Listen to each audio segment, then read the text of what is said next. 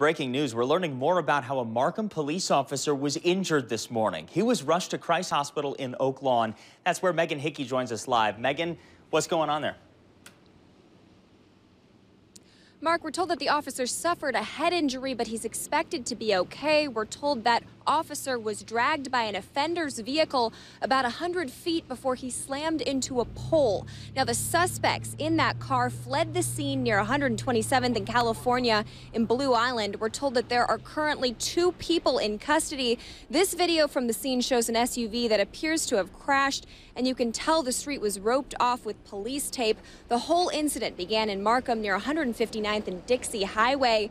It happened around 2.30 this morning. Multiple officers responded. So did a fire crew from Posen. We're told that officer was rushed to Christ Hospital in Oak Lawn. At this time, we don't know the extent of his injuries, but we're told that he is going to be okay.